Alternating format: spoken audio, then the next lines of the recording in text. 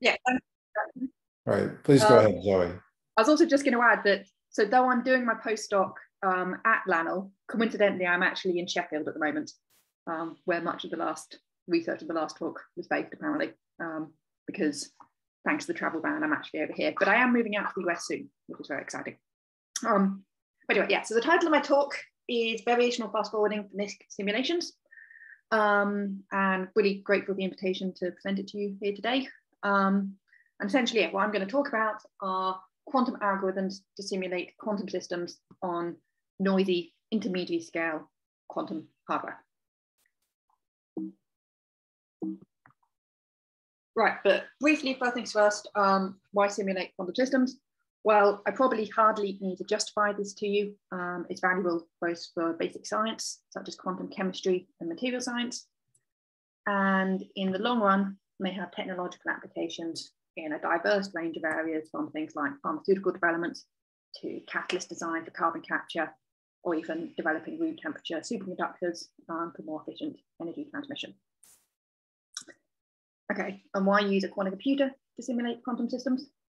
Um, well, the problem with classical simulations of quantum systems, at least of highly entangled quantum systems, is that the size of the simulation grows exponentially with system size. So every time you want to simulate another system, that doubles the size of the Hilbert space and the size of the classical simulation. And this means that simulations quickly become intractable, even for moderately sized quantum systems. So to put some numbers on it, my eight terabyte laptop um, the memory to run simulations for around um, 20 entangled spins. Um, I don't know whether you can hear my fans whirring away at the moment. But if you can, that's my laptop struggling at the moment to simulate, I think around eight um, spins. Um, and it's to be pushed up to around, I don't know, yeah, 30 spins, 30 qubits if you're feeling clever. Um, okay, and then the world's best supercomputers. Um, well, IBM and Google are currently fighting out as to whether the world's best supercomputer can be said to simulate 53 or 54 spins. Um, and whoever's right, the limit's probably not much more than 54 spins, um, at least for highly entangled systems. And anyway, performing such simulations would require a huge amount of time and energy and electricity and RPD bit of waste. Um, but for the technological applications that I sort of mentioned on the previous slide, you're really going to need to do um, simulations around 100 or more spins, 100 more qubits. Um, and a classical computer is just not going to be able to handle that.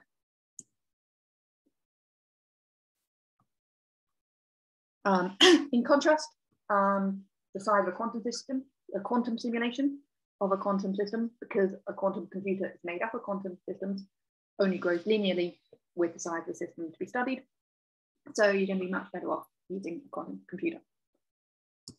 Or in the more poetic but distinctly overquoted words of Richard Feynman, nature isn't classical, damn it. If you want to make a simulation of nature, you better make it quantum mechanical. Right, Okay, so uh, specifically, so I'm going to introduce the variational fast forwarding algorithm, which is a quantum algorithm to simulate quantum systems. Um, specifically, um, a quantum algorithm for performing long-term simulations on near-term noisy quantum hardware. And this algorithm combines two pre-established techniques. The first is trotterization-based simulation, um, and the second is a variational quantum algorithm for compiling unitaries. So I'm going to start by introducing both of these in turn.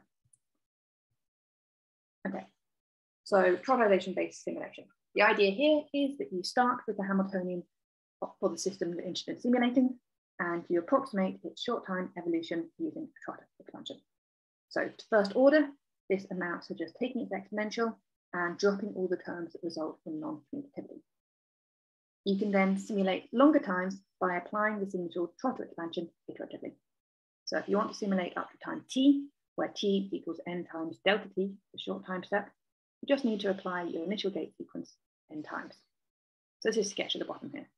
You compute the short time trotter approximation, which is a set of gates, and then you just apply that set of gates repeatedly in order to simulate for longer and longer times.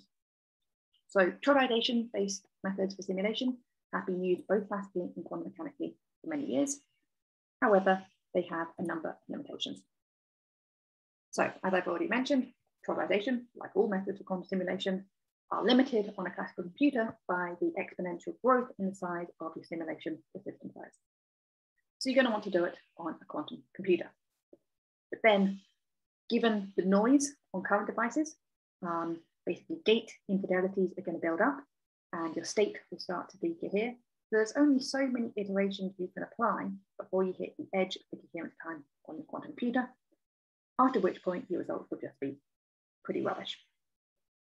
Um, so VFF, variational fast forwarding algorithm, aims to provide a way around this problem with using the iterated trotter approach on near-term quantum computers.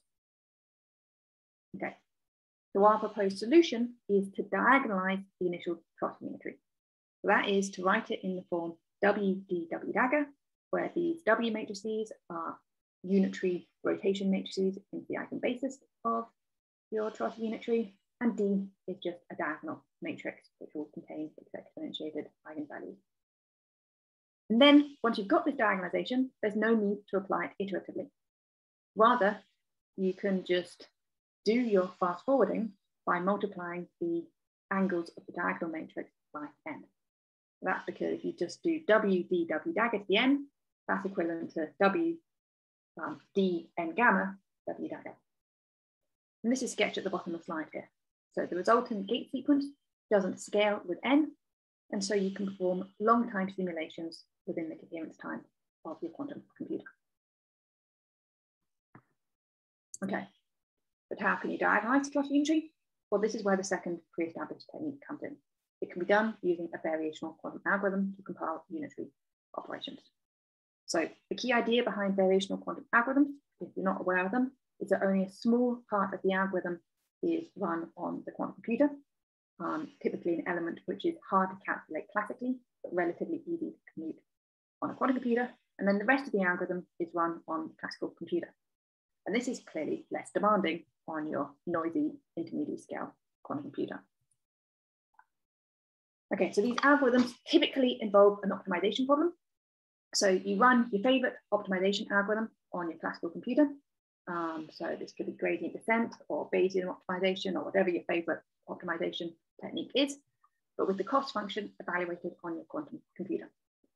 And by picking a cost function that is hard to calculate classically, but relatively easy to compute quantum mechanically, i.e. can be done using short depth quantum circuit, um, you can obtain a potential quantum advantage.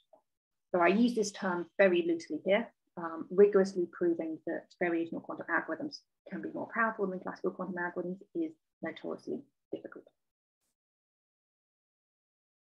Okay, so let me just spell out in a little bit more detail how VQAs work.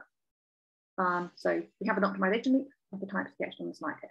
So you tell the quantum computer to run some circuit, a parameterized quantum circuit, to evaluate a cost function with respect to a particular set of parameters, like rotation angles, typically.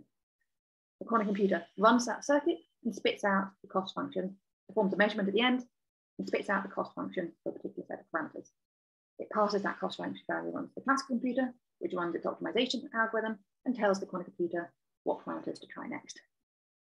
Quantum computer runs a new circuit with those parameters, spits out the new cost, sends it back to the computer, and you keep on looping around until you've minimized the cost function.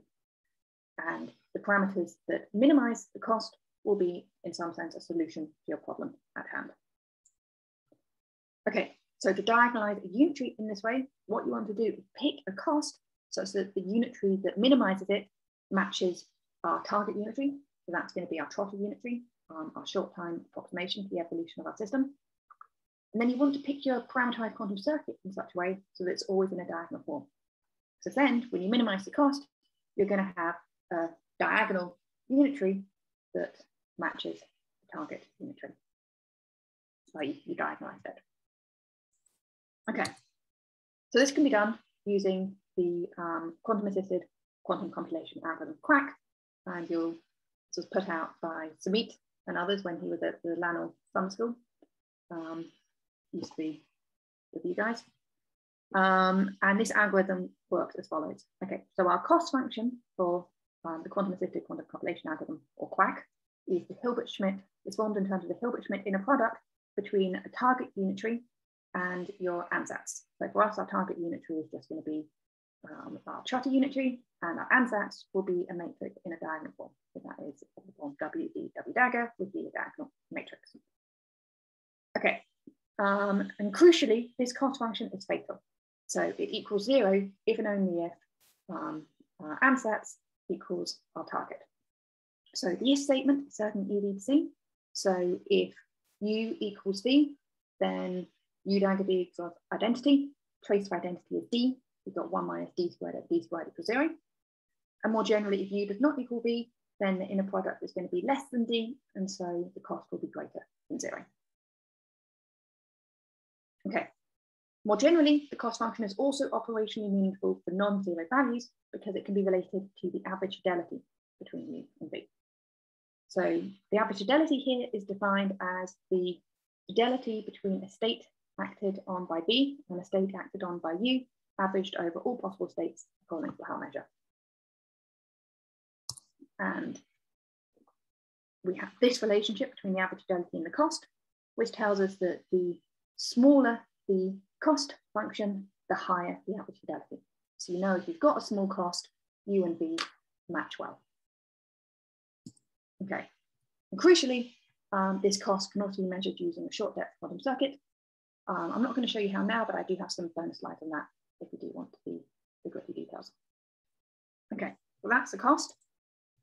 And then what our aim is to do is to just find the, we use this diagonal ansatz, and our aim is to just find the optimal angles, theta opt and gamma opt, that minimize our cost. Um, and when we do, so that's done using this hybrid quantum classical optimization loop. And when we found those optimal angles, we will have a diagonal matrix that well approximates our trotter unitary. Okay, quick technical caveat here. Um, I introduced the Hilbert-Schmidt test cost on the previous page because its form is reasonably straightforward to understand.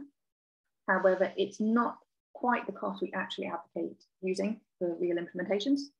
Um, so a downside of the Hilbert-Schmidt test cost is that its landscape can become very flat um, for larger problem sizes. Um, this is known as the barren plateau. Um, you can imagine if the cost landscape becomes very, very flat, it becomes hard to find its minimum, i.e. it becomes hard to do the training. So to avoid this problem, um, we instead use a cost called the local Hilbert-Schmidt test cost, um, which is a local version of the global Hilbert-Schmidt test cost, um, which is crucially easier to train. Um, so I'm not going to really go into precise details about its form, but in essence, it's constructed from a sum of entanglement fidelities.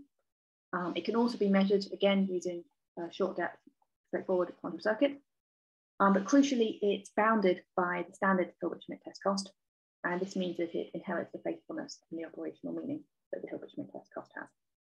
Um, so it's faithful and operationally meaningful, but easier to train. Okay, so that's a technical caveat. Not too important to follow if you didn't follow it. Right, okay, and this is a summary of the algorithm. So you have your input Hamiltonian for the system you want to simulate. You start by taking its trotter by doing a trotter approximation of this Hamiltonian to approximate its short time evolution. You then diagonalize this trotter approximation using QUAC, which is a variational quantum algorithm for quantum compilation. So that is you use a hybrid quantum classical optimization loop with the cost function evaluated on the quantum computer, and then gradient descent or whatever your favorite optimization algorithm is used to minimize this cost. Once you've minimized this cost, you will have a unitary in a diagonal form that well approximates your initial trotter unitary. And you can use this unitary to perform your fast forwarded simulation. So that is, you have a constant depth circuit, which just by multiplying the optimum angles of the diagonal matrix by n, you can use to simulate longer time slips. So you can simulate the Hamiltonian h the time t, where t equals n delta t, just using w d w dagger with the angles of your diagonal matrix. Okay, so that's the algorithm in a nutshell. Um, the one thing that's important to highlight is that the variational fast forwarding algorithm is an algorithm for approximate simulation. So there are errors introduced both by the initial trotter approximation and from the fact that when you learn your diagonalization using your variational quantum algorithm, you're not going to learn, um, your diagonalization is not going to perfectly match the trotter unitary um, both because you're only going to run your optimization algorithm for so long, and also because your quantum computer will be noisy. Okay. And what we can do is we can show that the total error for the simulation after n time steps is always going to be less than or equal to the sum of these two errors, the trotterization error and the machine learning error. Okay, so just to be a bit more precise, the simulation error here is defined as the difference between the exact unitary, um, so evolution under Hamiltonian h for time n delta t, and the final unitary you use for simulation. That is WD dagger with the answer the gamma matrix multiplied by n. And the difference here is just measured by your favorite p norm. Okay, trotterization error is just the difference between the exact simulation um, and the initial trotter approximation. And the machine learning error is the difference between your initial trotter approximation and the diagonalization you find. Okay. Um, so this inequality we have here is, I guess in a way, it's, it's honest, but it's also reassuring. So yes, there are errors, um, but they don't blow up exponentially under fast forwarding, they just scale linearly. Um, okay, that's the first thing we did in terms of simulation error analysis. The second thing is we can use this bound um, with a bit of manipulation to derive a termination condition for VFF. Won't go into the detail, it's just algebra. But essentially the termination condition tells us that given, it tells us the cost we need to achieve during the optimization stage in order to guarantee a particular final simulation fidelity. Um, and I guess the exact form doesn't matter. What's important is we do we did manage to calculate the threshold cost we got to get to to achieve a certain simulation fidelity, um, which really makes our algorithm well defined because it tells you how long you need to run for. Okay, so that's a simulation error analysis. Um, here's some numerics showing that the algorithm actually works. Um, so we simulated the XY spin chain. Um, so here the ZIs and XIs are just Z. Oh, so ZI is a Z Pauli operator on the ith qubit. The xi is an i um, x Pauli operator on the ith qubit. J and B are just parameters. Um, and the data I show here is for a five qubit simulation. So this is a noisy simulation on a classical computer. Um, so on the left here, we've got the cost as it's iteratively minimized. And on the right, um, we plot the fidelity as a function of time um, for a noisy simulation using VFF. And what you can see that is, is that if we get the cost pretty low, so down to 10 to the minus three, then we can achieve a simulation fidelity of above 0.8 for over 100 time steps. In contrast, if we were to try and do the simulation just with the standard iterated trotter approach, um, well, that does substantially worse. So before even, after only a handful of time steps, I think around seven or eight here, the fidelity of the iterated trotter simulation has already dropped below 0.8.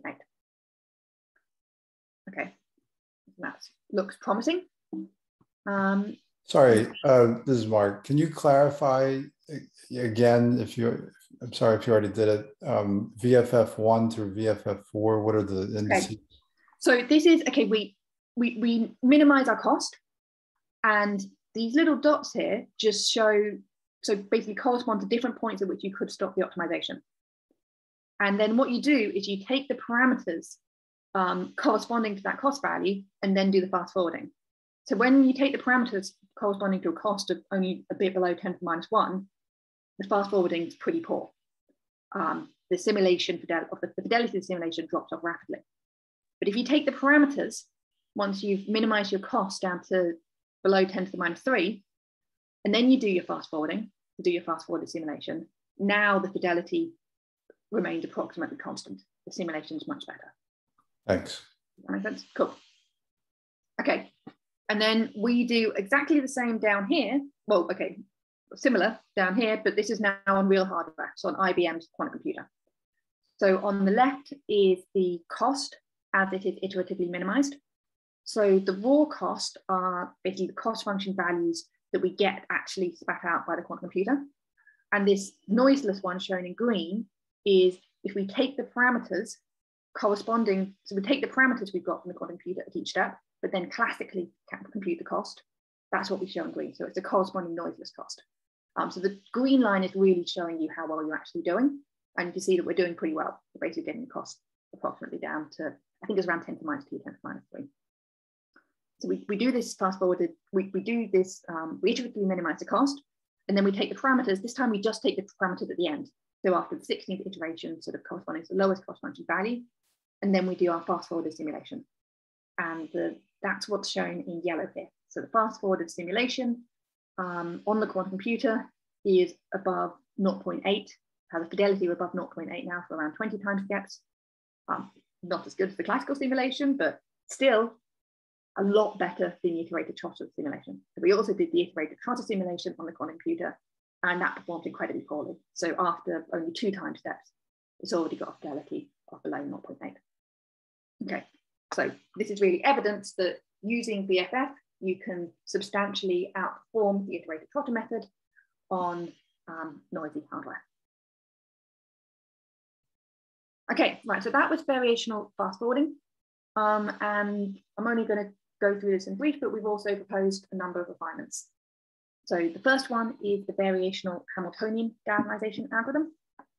Um, so this here we directly, okay, so in um, VFF, you diagonalize a trotter approximation of the um, Hamiltonian, and that induces a trotter error. Um, and the trotter error carries through to the final simulation, as I showed you in the simulation error analysis. Um, so in variational Hamiltonian diagonalization, to avoid this, we directly diagonalize the Hamiltonian rather than initial trotter approximation. So this gets rid of the trotter error, making the final simulation more accurate. Um, but this increased accuracy has a cost, and the algorithm is more resource intensive to run.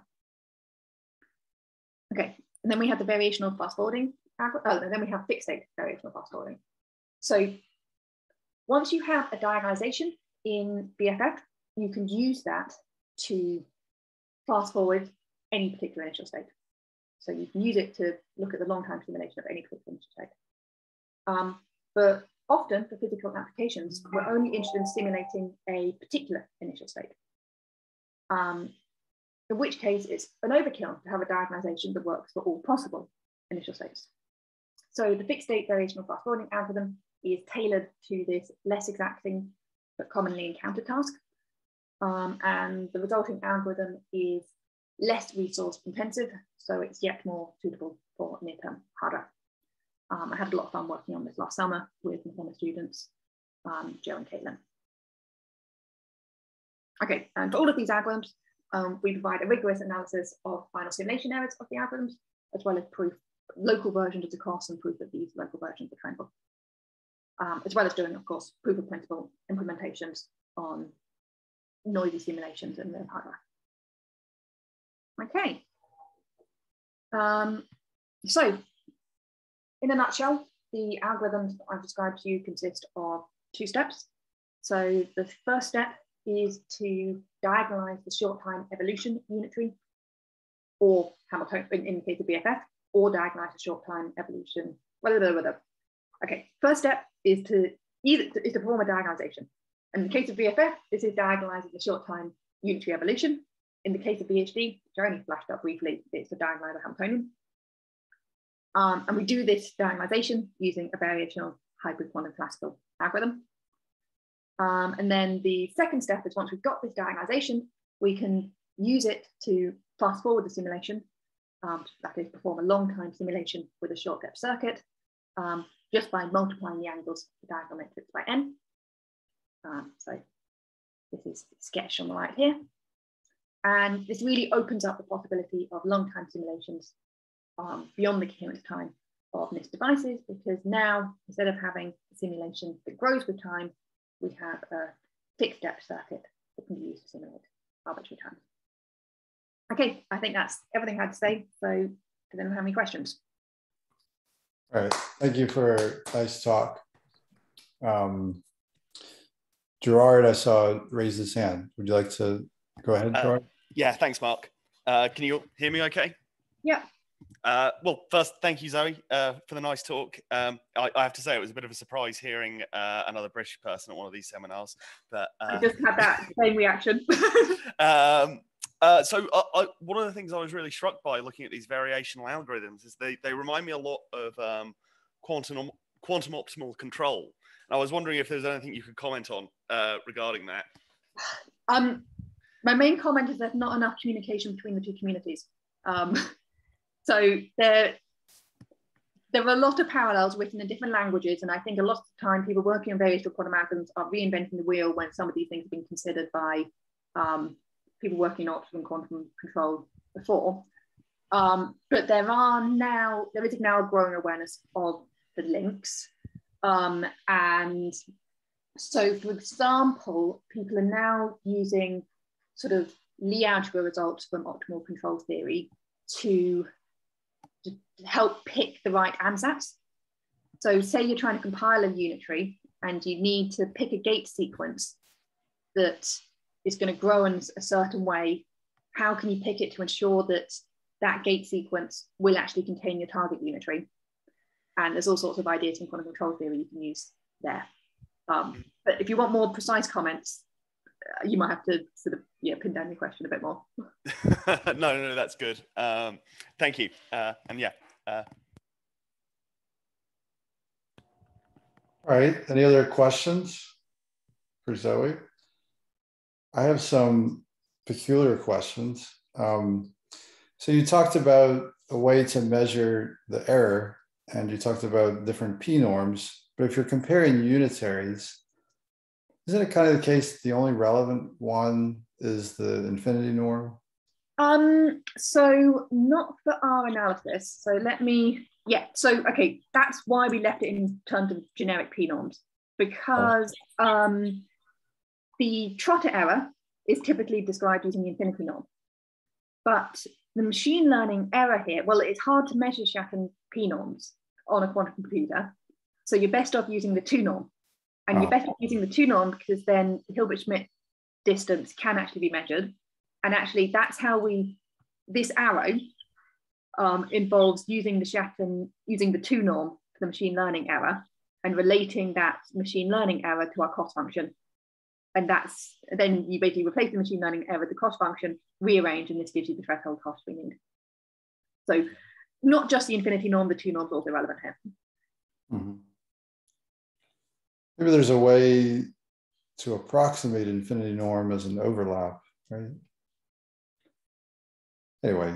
Um, I, there might yeah. be, but I guess it's our cost function is already directly related to the two norm. And mm-hmm. we want to know what cost function we need to achieve in order to have a certain final simulation fidelity less than a certain amount. I see. That's that's interesting. Uh, I'm, I'm glad to have your answer for that. So Gerard mentioned connections between variational algorithms and control theory. And so I'm curious a bit more about that. Has the, and you know, I'm kind of new, uh, to, I don't really know much about either, but um, this issue of barren plateaus, it's now quite famous in variational algorithms. Has that issue arisen in the context of control theory before? Yes. So when I first presented this talk, um, someone in the audience put their hand up and they had an optimal control background and said that people have been discussing this in optimal control theory for years and you should look at um, their research. And much to my shame, I didn't actually go away and explore that. Well, I printed out some papers and they sat on my desk for a while. Okay. Um, the other place that, so in classical machine learning, this is known as the vanishing gradient problem. Mm-hmm. And the vanishing gradient problem is slightly different because, okay, the barren plateau phenomena is the variance in the gradient vanished exponentially with the problem size, so the number of qubits. Yeah. Um, so it's, it's, it's related to the fact that the Hilbert space grows exponentially. Whereas the vanishing gradient problem in classical machine learning is not related to the size of your problem. It's not, um, it's related to the depth of your ansatz effectively. So the depth of your neural network. Um, so it's, it's a different phenomena. Nonetheless, um, some of the tricks they use to resolve the problem there may well be transferable to um, the quantum regime. So for example, correlating parameters has proven successful there, and people have now looked at correlating parameters around that in the quantum case, and that again um, helps here. But I think there are really obvious more work needs to be done on this. And people are actively looking into this, basically, to what extent we can take tricks they use there and apply them here. Okay. Gerard, do you have any comments about barren plateaus in the context of control, quantum control theory? Sorry. Uh, well, from my perspective, I've I've I've normally uh, I've normally been doing tracking control, which uh, I think uh, avoid avoids the problem of having to kind of you know search a landscape. But the the trade off with that is that you end up with kind of the possibility of singularities in your track. So I think I think um, it's it's uh, uh, they're, they're kind of related problems. I, I think that you can get you can get to a space where you know uh, essentially your algorithm doesn't know what to do. Um, so yeah, I think I, th- I think it's just um, it it's it's part of the kind of uh, intrinsic nature of a control problem actually, no matter how you approach it. Great. All right. Well, I'm, I'm glad to learn more about this. So I think we're we hit the time. Let's let's thank um, both both Zixin and Zoe for you know uh, enlightening us about two different research domains. And um, I guess that's a benefit, a benefit, the bright side of the Delta variant is that, you know, rather than having it locally, we could have some uh, interesting remote talks.